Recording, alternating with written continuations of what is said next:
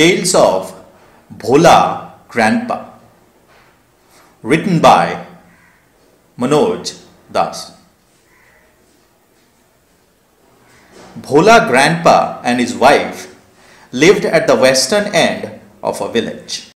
Okay so Bhola grandpa মানে গ্র্যান্ডপার নাম হচ্ছে ভোলা এবং ওনার ওয়াইফ ওনার স্ত্রী বসবাস করতেন গ্রামের পশ্চিম প্রান্তে পশ্চিম প্রান্তে মানে একদম শেষ পশ্চিম প্রান্তে বসবাস করতেন a large bokul tree overshadowed their hut so they lived in a hut মানে তারা একটা কুড়ে ঘরে থাকতো। অ্যান্ড কুড়ে ঘরটা overshadowed. Means, uh, there was a large vocal tree, and the hut was under the vocal tree. এটার মানে হচ্ছে বোকাল ট্রি ছিল। সেই বোকাল ট্রি নিচেতেই দে লিভড ওকে এখানে একটা কথা আছে যে large bakul tree overshadow their overshadow মানে the the shadow of the bakul tree shadow মানে ছায়া ওয়াজ লার্জার দ্যান দ্য হাট মানে বোকাল ট্রির ছায়াটা হাটের থেকে অ্যাকচুয়ালি বড় ছিল। সো সেই জন্য it is called overshadowed in the bokul tree lived a small troop of monkeys so troop of monkeys মানে বানরের দল কোথায় থাকতো? In that same bokul tree ওই বোকাল ট্রিতে একটা ট্রুপ অফ মাঙ্কিজ থাকতো। এই ট্রুপ অফ মাঙ্কিজ এটাকে বলা হয় কালেকটিভ নাউন্স মাঙ্কিজের ক্ষেত্রে ট্রুপটাকে ইউজ করতে হয়। তুমি ইউ তুমি বলতে পারো না যে গ্রুপ অফ মাঙ্কিজ বা টিম অফ মাঙ্কিজ এটা বলতে বলতে পারো না। মাঙ্কিসে যখন গ্রুপ বলতে হবে, তখন সবসময় বলতে হবে আর troop of monkeys so please remember that Bhola grandpa and his wife did not mind it they did not mind it মানে mind they did not mind it এটা মানে হচ্ছে যে তাদের কোনো অসুবিধা ছিল না এই ব্যাপারটা okay so one moonlit night we were returning from a festival so যে রাইটার আছে স্টোরিটা সে বলছে যে one moonlit night moonlit night means যেখানে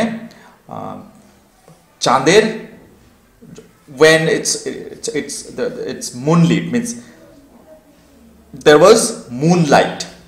চাঁদের আলো ছিল। সেরকম একটা রাত্রে রাইটার এবং তারও কিছু তাদের একটা দল একটা ফেস্টিভ্যাল একটা কিছু ফেস্টিভ্যাল ছিল সেখান থেকে ফিরছিল দেখে। The road was long and foggy রাস্তাটা কীরকম ছিল? লং মানে বুঝতে পারছি? লং মানে অনেক লম্বা ছিল। অ্যান্ড ফগি ফগি মানে কুয়াশা মানে যে কুয়াশা হয়, কুয়াশা হলে কি হয়, সামনে কিছু দেখা যায় না, অপরিষ্কার আনক্লিয়ার থাকে। ফগি মানে ফগ মানে কুয়াশা সেটাতেই কথাটা এসছে foggy so the road was long how was the road the road was long লম্বা ছিল অ্যান্ড ফগি মানে কুয়াশা কুয়াশাচ্ছন্ন ছিল। I was riding on the village chowkidar's shoulder তো রাইটার বলছে, আমি কোথায় ছিলাম?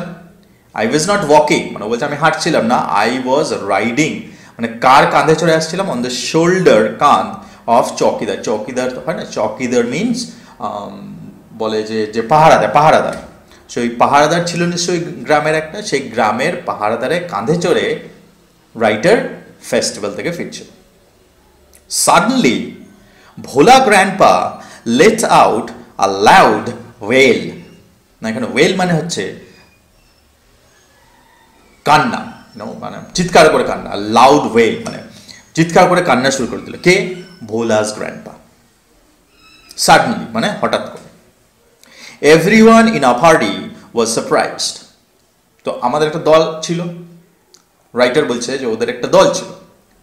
পার্টি মানে এখানে দল, ওই পুরো দলটাই ফিরছিল তো সবাই দে ওয়ার সারপ্রাইজড সারপ্রাইজ মানে অবাক হয়ে যাওয়া you know surprise you know if something unexpected happens that is call surprised মানে যেটা তুমি আশা করনি, এরকম যদি কিছু হয়ে যায় সেটা বলা হয় সারপ্রাইজড তো হঠাৎ করে ওই চিৎকার শুনে ভোলাস গ্র্যান্ডপার সবাই কি করল? They got surprised we halted halted মানে থেমে যাওয়া। উই হল্টেড দ্য এন্ড যে পুরো যে দলটা ছিল, সেটা থেমে গেল। Inquiry revealed that Bhola grandpa had taken his grandson to the festival. He had tightly held on to the two fingers of the boy. তারপর পরে এনকোয়ারি করে জানা গেলো যে কেন চিৎকার করছে, কি ব্যাপার হয়েছে? তো এনকোয়ারির পরে জানা গেল দ্য এনকোয়ারি রিভিল্ড রিভিল্ড মানে শোন দেখাল রিভিল রিভিলে অপোজিট তুমি যদি বলো, বলতো you can say cover so opposite of cover is reveal cover মানে কি? ঢাকা দিয়ে রাখা রিভিল মানে ওপেন করে দাও তো এনকোয়ারি রিভিল মানে এনকোয়ারি থেকে এটা পরিষ্কার হলো, এটা দেখা গেল। যে ভোলা গ্র্যান্ডপা তার গ্র্যান্ডসানের হাত ধরে আসছিল। এবং ভোলা গ্র্যান্ডপা তার গ্র্যান্ড গ্র্যান্ডসান একসঙ্গে আসছিল এবং ভোলা গ্র্যান্ডপার গ্র্যান্ডসান তার মাত্র দুটো আঙুল ধরেছিল। তো এটাই এনকোয়ারি থেকে প্রকাশ পেল। He did not realise when those fingers slipped out okay so Bhola grandpa এটা রিয়েলাইজ মানে উপলব্ধি করা এটা উপলব্ধি করেনি কি কখন ওর গ্র্যান্ডসান ওর ওই দুটো আঙুল ছাড়িয়ে পিছল খেয়ে চলে গেছে মানে স্লিপড আউট মানে আঙুল ছাড়িয়ে কখন চলে গেছে? ওকে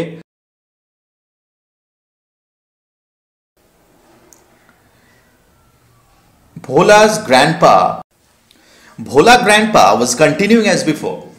পায়নি ভোলা ভোলার গ্র্যান্ডপা ওইভাবে ও চলে যাচ্ছে। ভোলাস গ্র্যান্ডপা ওয়াজ কন্টিনিউ মানে ভোলাস গ্র্যান্ডপা অনেকটাই চলে গেছে, হাঁটতে হাঁটতে continuing as before then someone ask Bhola grandpa what he was gripping তখন কেউ রাস্তাতে কেউ বলো গ্রিপিং মানে হচ্ছে ধরে থাকা। তখন রাস্তাতে কেউ জিজ্ঞাসা করল, কি তুমি কি ধরে আছো হাতে? He remembered his grandson and let out a loud wail তারপর ভোলা গ্র্যান্ডপা যখন ওর গ্র্যান্ডসনের কথা মনে পড়ল বলেই গেছিল তখন দেখল যে হ্যাঁ তো গ্র্যান্ডসন তো আমার হাতে নেই। তখন সেই কথাটা ভেবে let out a loud wail মানে চিৎকার করে কান্নাকাটি শুরু করে দিল।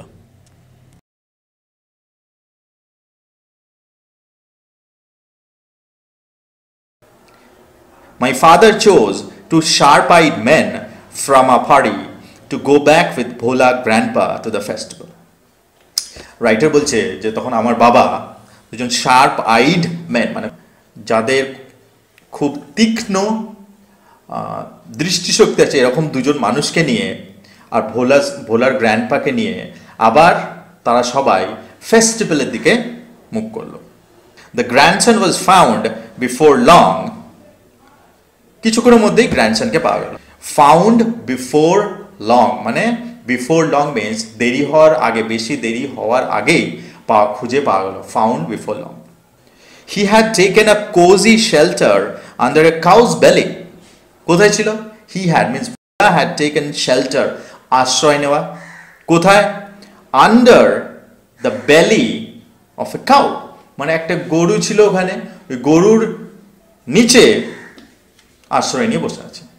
কোজি মেন্স কোজি মেন্স বেশ আরামদায়ক, আরাম করে। He had taken a cosy shelter under a cow's belly মানে বেশ আরামদায়ক একটা আশ্রয় ও একটা গরুর নিচে পেয়ে সেখানেও বসে I remember another funny incident about Bhola grandpa related by my father. So, I remember মানে রাইটার বলছে আর একটা মজার ঘটনার কথা আমার মনে পড়ে। Remember means I remember means মনে পড়ে। About Bhola grandpa related by my father that means যেটা বলেছিল রাইটারকে মানে স্টোরি রাইটারকে তার বাবা। ঘটনাটা কীরকম দেখা যাক? It had been a rainy afternoon যে দিনের কথাটা বলা হচ্ছে, সেদিন খুব বৃষ্টি হচ্ছিল। Rainy afternoon means afternoon means বিকাল। বিকেলবেলা সময় ছিল, ভীষণ বৃষ্টি হচ্ছিল। তো rainy afternoon Bhola grandpa wild with excitement told my father and his friends that he had been I means he had seen a gang of pirates so Bhola grandpa wild with excitement means প্রচণ্ড উত্তেজিতভাবে এসে wild means মানে যেটাকে সহজে control করা যায় না, যেটা সহজে কাবু করা যায় না that is called wild so wild with excitement মানে মানে ভীষণ উত্তেজিতভাবে এসে বলল টোল্ড মাই ফাদার কাকে বলল? রাইটারের বাবাকে আর তাদের বন্ধুদের। কি বলল? That he had seen a gang of pirate যে সে একটা, এক, একদল দস্যুতে দেখেছে। গ্যাং অফ পাইরেটস পাইরেটস মানে দস্যু। একদল দস্যুকে দেখেছে। They were burying a large box under one of the sand dunes on the seashore by a village. So, এসে বলল যে they were burying, they were burying. That means তারা খুঁড়ে bury bury মানে খনন করা। The burying a large box খনন করে যেমন ধরো ইন ইন ইন ক্রিশ্চিয়ানস যখন মারা যায়, তখন তাদেরকে বেরি করা হয়। তার মানে মাটির নিচে কবর দেওয়া হয়। তো কবর দেওয়াকে বলা হয় বেরি তো বলছে দে ওয়ার বেরিং মানে ওই গ্যাংস অফ পাইরেটস কি করছিল তারা? Were burying a large box একটা খুব বড় বাক্স কবর দিচ্ছিল। কোথায়? Under one of the sand dunes on the sea shore by a village village sand dunes মানে হচ্ছে ওই বালির ঢিবি। ওই বালির ঢিবি মানে সি শোর সি শোর মানে হচ্ছে সমুদ্রের তীর। সমুদ্রের তীরে যে বালির ঢিবি হয়, সেই অনেকগুলো বালির ঢিবি ছিল। তার মধ্যে যে কোনো একটা নিচে তারা সেই সেই বড় বাক্সটাকে কবর দিচ্ছিল। ওকে বাই আর ভিলেজ তার মানে very near to the village মানে খুব যে সি শোরটা ছিল সেই সি শোরটা ওদের গ্রামের খুব কাছাকাছি ছিল এখানেই নাকি ওই দস্যুগুলো ওই বক্সটাকে কবর দিচ্ছে At once, father and his friends started looking for the hidden treasure. At once মানে সঙ্গে সঙ্গে সঙ্গে সঙ্গেই মানে রাইটারের বাবা আর তার বন্ধুরা খুঁজতে started looking for the hidden treasure মানে ওই হিডেন ট্রেজার হিডেন মানে লুকানো আর ট্রেজার মানে সম্পদ। যে তারা ভাবলো তাহলে বক্স একটা অনেক বড় বাক্স যেহেতু কবর দেওয়া আছে আর এটা যেহেতু জলদস্যুরা কবর দিয়েছে, তাহলে নিশ্চয়ই সেটা, সেটার মধ্যে প্রচুর ধন সম্পদ আছে। তো সেই জন্য তারা কি করল? অ্যাট ওয়ান্স মানে সঙ্গে সঙ্গেই তারা ওই হিডেন ওই লুকানো সম্পদটাকে খুঁজতে থাকল। অবভিয়াসলি কোথায়? ওই স্যান্ড ডিউন্সের মধ্যে মানে ওই পাথরের ডিপ এই বালি ডিবির মধ্যে। Evening passed on to night moon light came in through the clouds evening মানে সন্ধে সন্ধে পেরিয়ে রাত হয়ে গেল। Evening passed on to night moon light came in through the clouds চাঁদ উঠল, চাঁদের আলো চলে এলো। A pack of jackals were howling একদল জ্যাকেল হাউলিং হাউলিং মানে ডাকতে শুরু করল। হাউলিং জ্যাকেলের ডাকাকে বলা হয় howling it was past midnight মধ্যরাত্রি পেরিয়ে গেছে। At this point of time ঠিক এমন সময় Bhola grandpa confessed that there was no real treasure যখন এত কিছু হচ্ছে মিড নাইট পাস হয়ে গেছে জ্যাকেলসরা ডাকতে আরম্ভ করেছে চাঁদের আলো উঠেছে, এত কিছু হয়ে যাওয়ার পরে ভোলা গ্র্যান্ডফা কনফেস্ট কনফেস্ট মানে স্বীকার করল মানে কোনো কিছু স্বীকার করাকে বলা হয় কনফেস্ট সো কনফেস্ট কি কনফেস করল? That there was no real treasure এরকম কোনো সম্পদ নেই। তাহলে কি আছে? It was all a dream which he had which he had during his midday nap তো বলছে, এরকম কোনো সম্পদ নেই। আমি তোমাদেরকে ভুল বলেছিলাম। অ্যাকচুয়ালি আমি স্বপ্নতে দেখেছিলাম। কখন? মিড ডে ন্যাপ মানে প্রথা আছে কিছু কিছু জায়গায় যে লাঞ্চের পরে মানে দুপুরে খাওয়ার পরে কিছু সময়ের জন্য মানুষের বিশ্রাম করে, কিছু সময়ের জন্য ঘুমে, ঘুমায়। ন্যাপ মানে হচ্ছে খুব কম সময়ের জন্য ঘুমানো। মিড ডে মানে তো আমরা জানি মানে ওই বারোটার পর মানে বারোটা সাড়ে বারোটা এই সময়টাকে বলা হয়। তো বলে আমি সেই সময় একটা খাওয়া দাওয়া করে ঘুমাচ্ছিলাম, তো তখন আমি একটা স্বপ্ন দেখি যে একদল জলদস্যু, একটা বড় বাক্স ওই বালি ঢিবির মধ্যে পুঁতে রয়েছে তো আমি বললাম, সেটা তো ট্রেজার সেটাই তোমাদেরকে এসে বললাম so so that is one of the incident okay once Bhola grandpa had a great adventure in the Sundarbans. আর একটা ঘটনার কথা বলা হচ্ছে এখানে। এই ঘটনাটা সুন্দরবনের সঙ্গে রিলেটেড মানে সুন্দরবনের সঙ্গে যুক্ত। আর অ্যাডভেঞ্চার মানে হচ্ছে রোমাঞ্চকর একটা অভিজ্ঞতার কথা বলা হচ্ছে adventure had a great adventure in the Sundarbans তাহলে সুন্দরবনে ঘটা একটা অ্যাডভেঞ্চার একটা রোমাঞ্চের কথা বলা হচ্ছে। দেখা যাক। In those days royal Bengal tigers freely roamed the dense jungles of the Sundarbans তো বলছে, তখনকার দিন দোজ ডেজ মানে তখনকার দিনে royal Bengal tigers okay royal Bengal tigers famous tigers মানে ওয়ার্ল্ডের মধ্যে সব থেকে হিংস্র জন্তুদের মধ্যে একটা হচ্ছে রয়্যাল বেঙ্গল টাইগার কী করতো freely roamed the dense jungle of Sundarbans এখানে দুটো ওয়ার্ড আছে রোমড আর ড্যান্স বলে দিচ্ছি। ফ্রিলি রোমড মানে খুব স্বাধীনতার সঙ্গে ঘোরাফেরা করতো। রোম মানে এদিক ওদিক ঘোরাফেরা করা। কোথায়? In the dense jungles of the Sundarbans dense মানে হচ্ছে ভীষণ গভীর। তাহলে ওই গভীর জঙ্গলের মধ্যে রয়্যাল বেঙ্গল টাইগারটা খুব ফ্রিলি খুব খুব স্বাধীনভাবে ঘোরাফেরা করত। Okay so people to care to move about only in groups, particularly after sundown. ওই যে মানুষজন তখনকার যুগে কী ছিল? তখন তো সেরকম রাস্তাঘাট ছিল না পুরনো যুগে তো মানুষ জঙ্গলের মধ্যে দিয়েই যাতায়াত করত। এবং রাস্তাঘাট যেগুলো ছিল সেগুলো অনেক বেশি সময় লাগতো সেই জন্য অনেকেই জঙ্গলের রাস্তা দিয়ে যেত। যে people to care to care man's খুব সাবধান সাবধানতা অবলম্বন করত। কেন? To move about only in groups কী সাবধানতা তারা অবলম্বন করতো?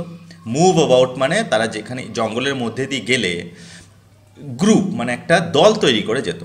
পার্টিকুলারলি আফটার সানডাউন বিশেষত পার্টিকুলার মিনস পার্টিকুলারলি মিনস বিশেষত। বিশেষত সূর্যাস্ত যাওয়ার পরে।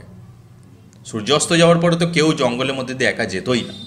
তারা একটা দল তৈরি করতো এবং সেই দলটা যেত। Okay obviously because royal Bengal tiger was there okay so one evening Bhola grandpa was returning from the weekly market তো একটা সন্ধেবেলায় গ্র্যান্ডপা কোথা থেকে ফিরছিল? উইকলি মার্কেট যেটা বাংলাতে হাট বলা হয়। হাট মানে এটা একটা মার্কেটই, যেখানে সবজি, চাল, ডাল এবং বিভিন্নজন বিভিন্ন জিনিসপত্র নিয়ে এসে একটা জায়গায় জড়ো হয় এবং সেখান থেকে বিক্রি করা হয়। এবং এটা সপ্তাহে একদিন, দুদিন এরকমই হয়। তো এইরকমই একটা হাট থেকে কে ফিরছিল গ্র্যান্ডপা এবং ওয়ান ইভিনিং মানে অলরেডি সন্ধে হয়ে গিয়েছিল। Okay then suddenly at a distance of about five yards behind him হঠাৎ করে মাত্র পাঁচ ইয়ার্ড বিহাইন্ড মানে পিছনে, মাত্র পাঁচ ইয়ার্ড পিছনেই কি ঘটল? He heard the growl of a royal Bengal tiger মানে হাঁটছিল জঙ্গলের মধ্যে দিয়ে। ও ঠিক পাঁচ ইয়ার্ড পিছনেই ও একটা গর্জন শুনতে পেল, ওরে বাবা। কার গর্জন? রয়্যাল বেঙ্গল টাইগারের গর্জন। গ্রাউল মানে হচ্ছে গর্জন করা। মানে রাগে গড়গড় করে যে শব্দটা করে, এরকম করা। That kind of noise is call growl Bhola grandpa turn and found the bright gaze of the tiger on his face আচ্ছা ভোলা গ্র্যান্ডপা ঘুরে দেখল, যে দেখি তো, এই গর্জনটা কে করছে? ঘুরে দেখছে টার্ন ঘুরে দেখছে অ্যান্ড ফাউন্ড অ্যান্ড দেখল যে bright gaze of the tiger এখানে একটা ওয়ার্ড আছে গেজ গেজ মানে মানে চকচক চকচক কী বলো ব্রাইট গেজ মানে উজ্জ্বল দৃষ্টি দিয়ে একটা রয়্যাল বেঙ্গল টাইগার ঠিক ওর মুখের দিকে তাকিয়েছে। বাবা okay Bhola grandpa instantly climbed up a nearby banyan tree অবশ্যই পাশেই একটা বানিয়ান ট্রি মানে একটা বট গাছ ছিল। ইনস্ট্যান্টলি মানে সঙ্গে সঙ্গে। Climbed up near the banyan tree একদম বট গাছের উপরে চড়ে গেছে। ক্লাইম্ড আপ মানে উপরে চড়া, আর ক্লাইম ডাউন মানে উপর থেকে নিচে নামা উপরে চড়ে গেছে। The tiger roared and circle the tree about a hundred times roared মানে বাঘ যখন গর্জন করে, সেই গর্জনটাকে বলা হয় রোরিং গর্জন করছে আর circle the tree about hundred times এবার বট গাছ তো, বাঘটা উঠতে পারছে না। আবার তার খিদেও পেয়েছে। তো কী করছে? সার্কেল মানে ওই ঘুরপাক খাচ্ছে। ওই বানিয়ান ট্রি মানে বট গাছটা চারপাশে ঘুরপাক খাচ্ছে। একবার নয়, দুবার নয় হান্ড্রেড টাইমস একশো বার কম করেও হবে, ও ঘুরপাক খেয়েই যাচ্ছে। Okay then it settled down under a bush without taking its eyes off him okay এরকম একশো বার একশো বারের উপর বেশি ঘুরপাক খাওয়ার পরে দেন ইট ইট মানে এখানে রয়্যাল বেঙ্গল টাইগারটা কথা বলা হচ্ছে। It settle down under a bush নিয়ে ওখানে একটা ছোটো মতো একটা ঝোপ ছিল। ওই ঝোপের নিচে সেটেল ডাউন মানে আরাম করে বসে গেল okay without taking its eyes off him আর গাছের উপরে কে আছে? বানিয়ান ট্রি উপরে। ভোলা গ্যানপ্রা বসে আছে। তো বুশের মানে ওই যে ঝোপটার নিচে বসে টাইগারটা গ্র্যান্ডপার দিকে এক দৃষ্টে চেয়ে আছে। With nightfall the forest grew dark and silent রাত হয়ে গেছে। বাঘটা কিন্তু ওখানেই বসে আছে। গ্র্যান্ডপা ওই বস্ত্রতে গাছেই বট গাছেই বসে আছে। দ্য ফরেস্ট গ্রিউ ডার্ক যেহেতু নাইট ফল রাত্রি হয়ে গেছে ফরেস্ট জঙ্গলটা আরও বেশি অন্ধকার দেখাতে লাগল। অ্যান্ড সাইলেন্ট এবং একদম চুপচাপ। Bhola grandpa could hear the tiger beating its tail on the dry leaves okay অনেকক্ষণ হয়ে গেছে। এবারে অধৈর্য হয়ে পড়েছে বাঘটা। রাগে কি করছে? Beating its tail on the dry leaves ও কী করছে? ওই ওই বড় লেজটা দিয়ে বাঘটা ওই শুকনো পাতার মধ্যে এরকম এরকম করে মারছে। গ্র্যান্ডপা গাছের উপর থেকে কিন্তু শুনতে পাচ্ছে ওই বিটিং অফ দ্য টেল ওই যে লেজটা দিয়ে যে মারছে, সেটা কিন্তু শব্দটা বুঝতে পারছে। আওয়ার্স পাস্ট আর এইভাবে আরও কিছু ঘণ্টা পেরিয়ে গেল।